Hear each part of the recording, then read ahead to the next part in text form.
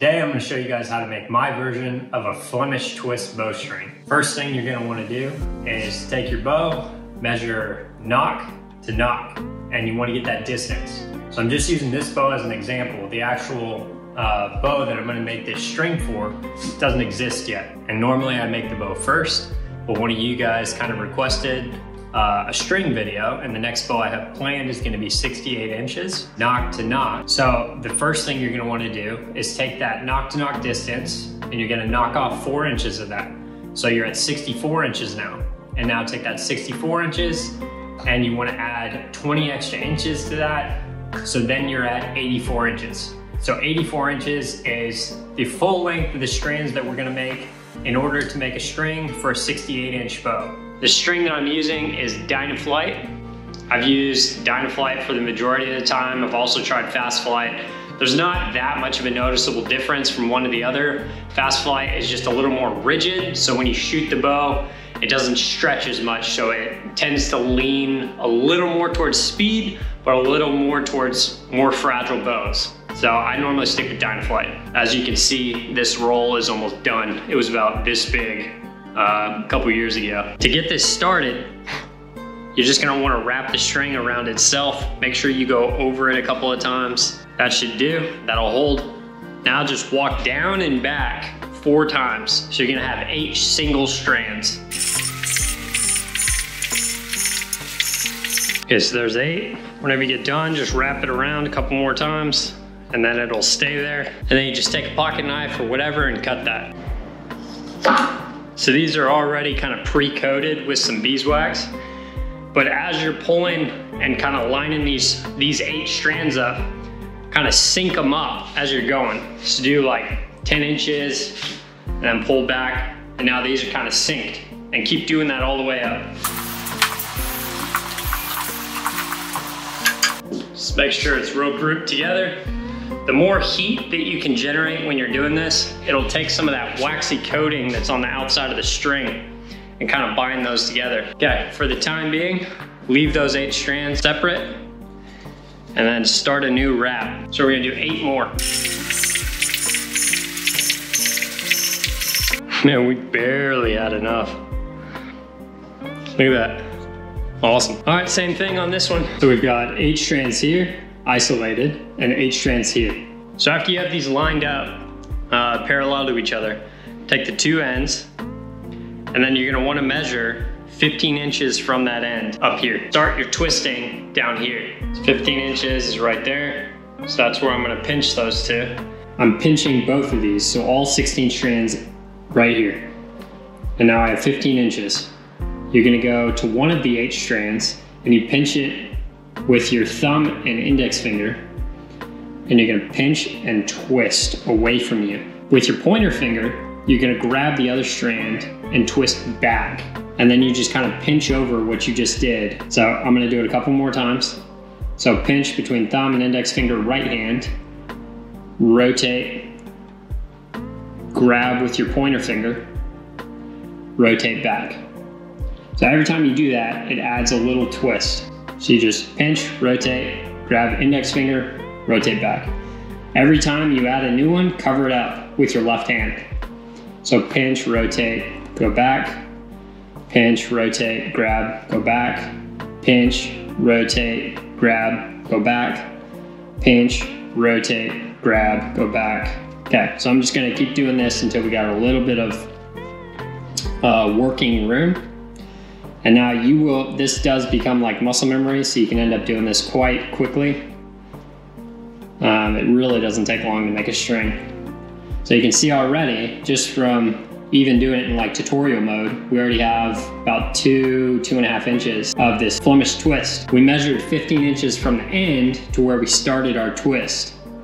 Now, how long do you keep the twist going? I would go up six inches because we're gonna want it to have Flemish twist just bare for four inches. So it's gonna go up to about there. And then those extra two inches are gonna be here and we're actually gonna use that to make the loop. So these two inches here are gonna fold back over and make a loop. So right here I have six inches of Flemish twist going on. we're gonna come down to the four inch mark, which is right here, and that's where our six inch is gonna come wrap around, make a loop, and tie into the four inch. So I'm gonna pinch it right at where that four inch mark is, and I'm gonna know that that six inch needs to wrap back around to make our loop like that. Now, depending on the size of your limb tips, that is gonna determine the size of the loop that you need. This is a very standard size. It's normally, you just do two inches total length and then make a curve and that'll be a really great size. Now I'm sure you're wondering, okay, that's great. We looped it around, but how are we gonna attach it? So I do this part a little bit different than most people. So what I want you to do is just kind of open this, open this up like so. So that's our four inch marker. So we still have four inches of Flemish twist below that right here. So I wanna open this up and have that connect right here. So how do you do that? Open up your Flemish twist four inches up. And now you're gonna, this, the end of this has two strings coming off. One of them, you're gonna take the end and put it through the front of your hole. Like so. Now the other one, you're gonna put it through the back and walk it through the front. Now, if you don't have super clean ends, sometimes it's easier to just kind of force the whole thing through and just double it up and grab it, kind of how I just did. So that's the start, right? We got one going in the front, one going in the back. Now you just go down uh, one more twist and you're gonna open up the next one. So you open up the next one down and whichever one went, you see how this string on the last one went through this side and out the back. So this string on the next one has to go through the back and out the front.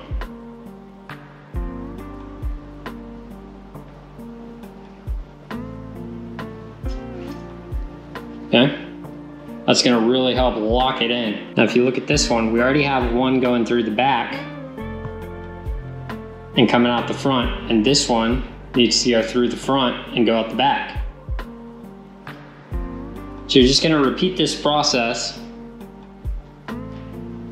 until you've walked down the entire length of your Flemish twist. All of this kind of tag end part, we wanna run through the rest of the Flemish twist that we have. So the more of those you can run through, the better. But also, it gets to a point where it's just kind of wasted energy because you already have enough friction so that uh, nock loop is not going to come undone. Okay, so we'll do a couple more just for example's sake. So we still have this amount of twist we got to get through, we still have quite a bit of tag end to work with, and that's great. It sucks when you have too little. It means that you did your measurements wrong. But you don't want to open that one because that's the same as the loop it just came out of. So open the next one down. I like to open it real wide. It just makes it a little easier for the next part.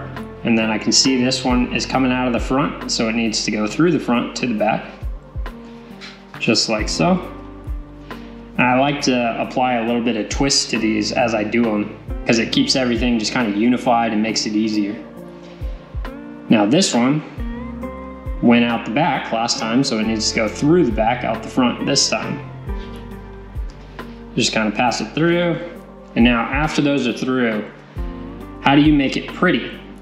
Uh, you just kind of retwist it real quick and then pull and pull. You, see how nice that looks?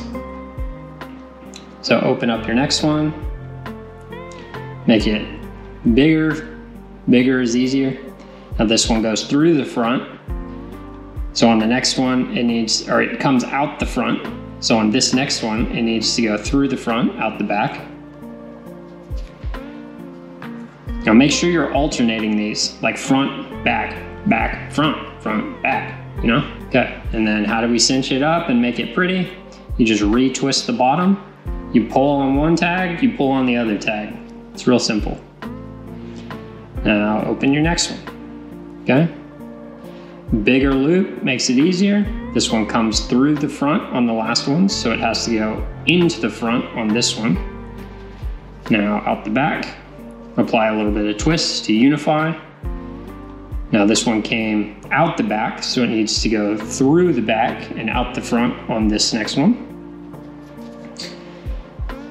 Now how do we pretty these up? Just kind of twist, twist the base, pull one tag end, pull the other tag end. And you just continue that process and you end up with a really, really nice looking adjustable string. I'm gonna finish up the last remaining wraps and then we'll continue moving on to the next part. I got down to pretty much the bottom of the twist, but now what it looks like is from here to here, that doesn't look like four inches anymore.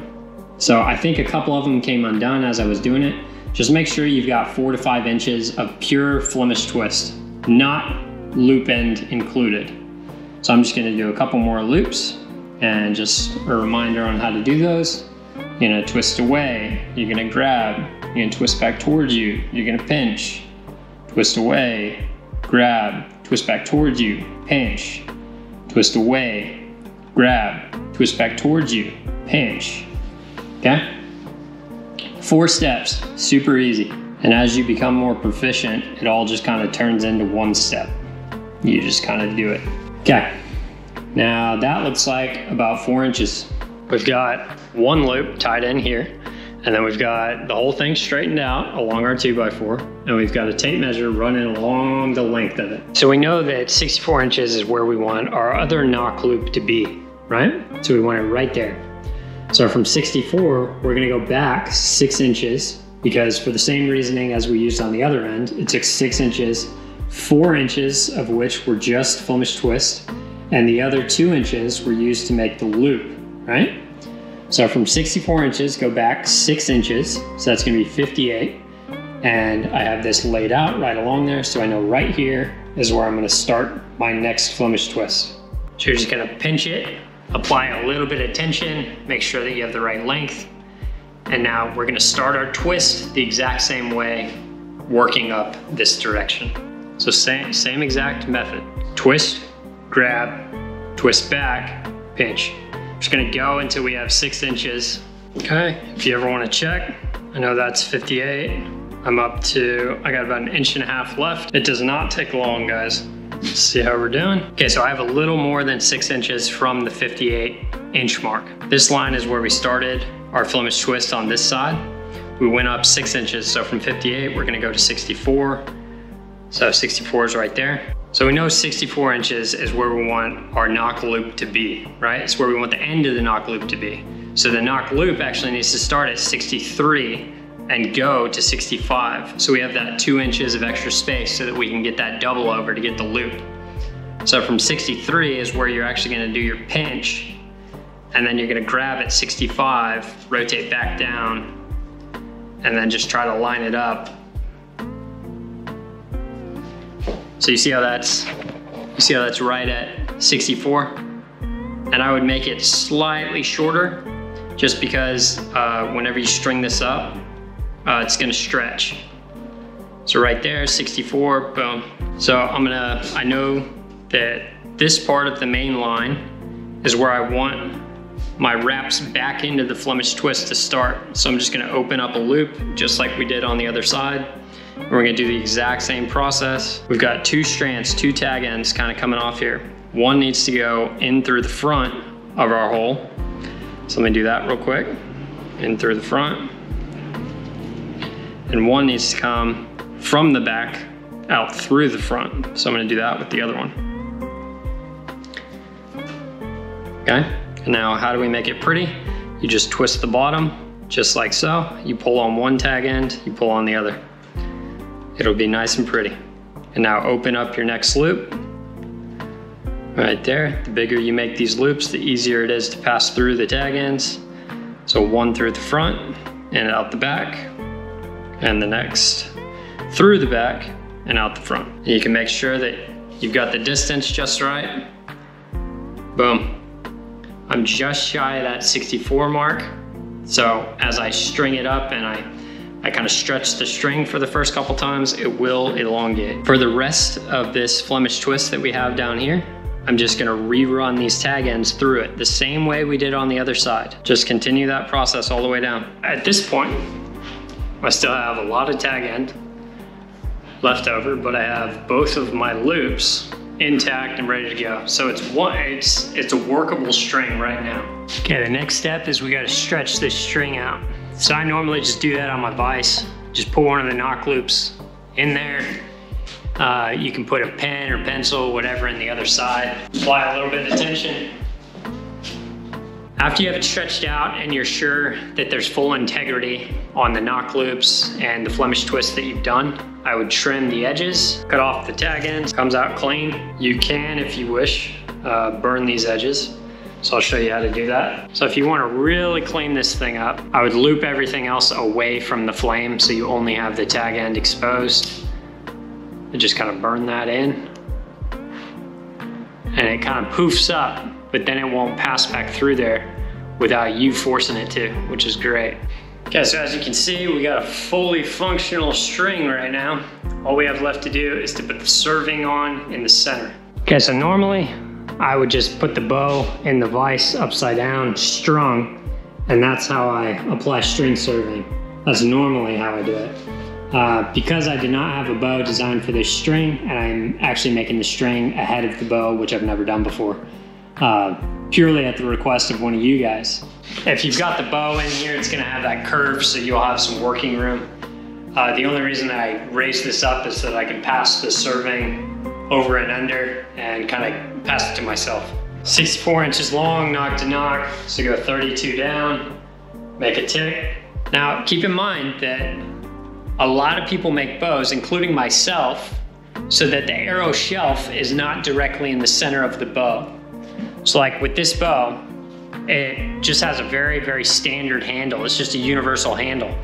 So when I grip it, the middle of this bow is actually here, right there. But my hand covers that, and where I shoot off of is actually about an inch and a half higher than that other point. So keep that in mind when you do your serving. Your center placement for your serving is not actually the center in between nock to nock, uh, depending on the type of bow you're shooting. But for me, it's not. I have to go inch and a half deviation one way or the other. Our midway is 32, right? But because of what I just showed you about the arrow shelf, I had to go down to 30 and a half to account. So this is actually where the arrow is gonna be shot from. So you want the center of where your arrow nock is gonna be on your string. You want an equal distance of serving high and low of that point. So for me, that's three inches high, three inches low. So my serving will go from here to here. So we gotta cover that a little bit. So how you're gonna get started, uh, the beginning, just take the tag end of your serving, lay that even,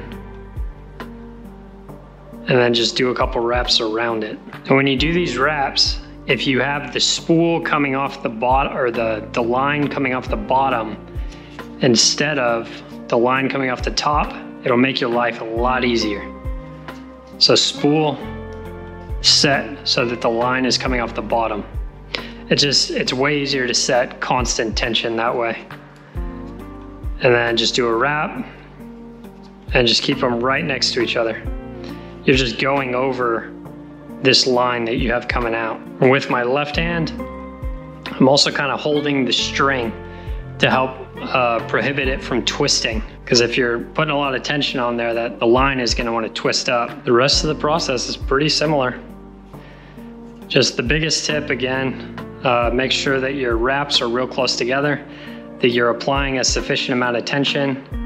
And I would go over this tag end until you have an inch or two before you cut it, just to make sure that it's sufficiently held in there. And then besides that, it's just when the spool is on the far side away from you, make sure it's thread down. So your serving is down. It's not coming off the top up here, it's down here. That, that makes it way easier to apply constant tension. Okay, so at this point, we've got about an inch of that covered. So you could probably snip that. Now for the remainder of this distance, until you get uh, maybe an inch to an inch and a half towards the end where you want to finish, you're just going to repeat the same process and just do wraps all the way down.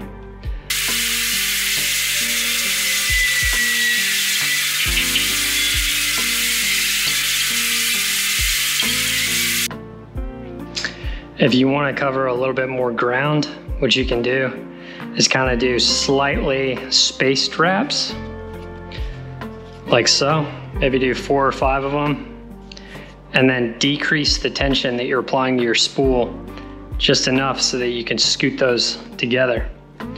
But it's a little bit faster that way. Okay guys, when you get to the end, so you can see we've got maybe an inch, three quarters of an inch, until we're at the place where we want the serving to end. Cut off maybe two feet, two and a half feet. And then you're gonna do a loop downwards.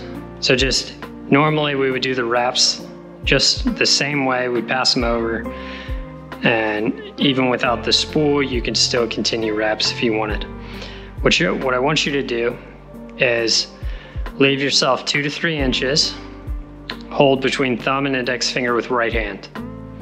Now with your left hand, I just want you to grab with your first three fingers.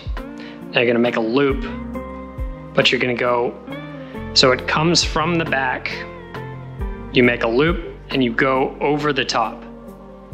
So this one is coming from the back and this one is going over the top. Now what you're gonna do is make loops, but kind of reverse loops. As you're going back towards the left, you're gonna be making loops and passing over, over the back, under the front, over the back, under the front, over the back, under the front. And just do that until you have about 12 to 15 loops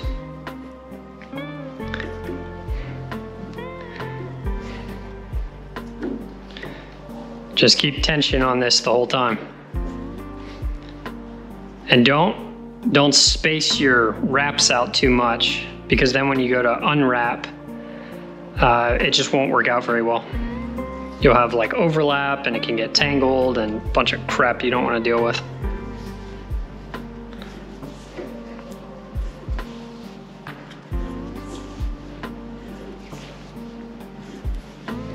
Okay. Now, what I like to do is after I make my loops, I just push them all just a little bit. And now we still have this tag end sticking out, right? So this is a good way for you to measure. So if you bunch all of them together on the side, you could say, okay, that's the added serving length that I'm gonna get when I do these forward wraps. Because these forward wraps on this end are gonna unwrap these backwards wraps on this end. So these will all disappear the only purpose for these being here is so that we can tie this tag end underneath our final wraps. So if I'm looking straight down, I can see that I need a little bit more room of wraps to get to that final serving thickness or serving length that I want. So I'm just gonna do a couple more.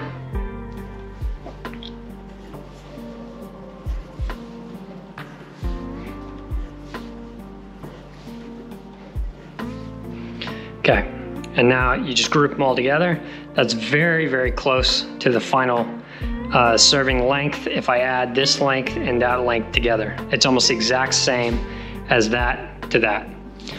So now what you're gonna do is pass uh, the tag end to your left hand and kind of hold it over the top. And you're just gonna pinch it. So still maintain pressure on this, but pinch this tag end right up right up back towards the left side and just kind of overlap it on the serving. And now pass the loop to your right hand and then just start doing wraps the same way that you did. So just pass it and every time we're doing a wrap on this side, we're undoing a wrap on this side. I want you to keep an eye on that. So look, doing a wrap, undoing the one on the opposite side. Doing a wrap, undoing. Doing a wrap, undoing. So this is a very cool way uh, to cinch down your serving without having to do an actual knot. And then after I get a certain amount of distance, so I don't have to hold this anymore because it's already under 10 of these wraps right here. So this tag end, I know I'm, I'm just gonna cut that at the end. But this is probably uh, one of the most efficient ways to do this, and it also comes out uh, pretty. And it's like, yeah, it's not all about it being pretty, right? But you do, you don't want it to look like shit. If your wraps start getting too close, just kind of unwrap them and push them back towards this side. That way you can finish up. Uh, you do not want to have any leftover wraps when you get done. You want that all this all this kind of messiness on the right to disappear. I'll show you a good way to do that. Okay, so now we just have a loop on the end and that's all we have. But we also have our little pull cord that's our tag end, which is now in my left hand. And now we're just gonna pull this down real tight. And you see how the loop getting smaller as I'm doing that? So just let it right to the end and then cinch it up real nice. Cinch, cinch, cinch, boom. And then just cut that at the end and you're good to go. And if you ever wanna see if you did a decent job, just try to move it. Like, see how that, there's like no give. Like I'm, I'm applying a pretty good amount of force too. Those coils are right next to each other. So at this point, uh, our string is complete. So we've got uh, string loop to string loop. I ended up having to kind of jerry rig this. Maybe you guys will like this. Um, normally the you have the bow before you make the string. So when you put the bow in your vise, it will automatically apply that stretching force. And that makes it much easier to do the string serving. But in this case, I don't have the bow because uh, like I said, I'm doing the serv or the string first per request of one of you guys. So I needed tension on here and I also needed space to work. So you can just make a little jig if you just want to practice making uh, a string before you make a bow, see if you like it. Just get two by four, two by four, stack it on top, put a screw in the top on that end. Same thing on this end, but I wasn't able to get enough tension to actually do the serving with just putting this, the nock loop in on the screw. So I took one of the weights that I have and I tied some paracord to it, tied it to the end of the string. So it's just kind of a pulley, right? So that's applying the tension that allowed me to make this. All right, so we got a fully made string, 64 inches nock to nock. The center of the serving is matched up with the nocking point of our arrow. Uh, the way that I showed you, where you have two nock loops that are both kind of started and then tied in and woven through the actual Flemish twist part. That means that if you ever wanted to change the length of this loop or this loop, that's possible. The way a lot of people will show you how to make these, uh, one of the loops is fixed in shape and size. So you're limited to only one side being variable, which in the end comes down to how much of the Flemish wraps have you done on that one side? That's how I personally make the strings. I hope this helps you guys. And of course, always remember, live what you love.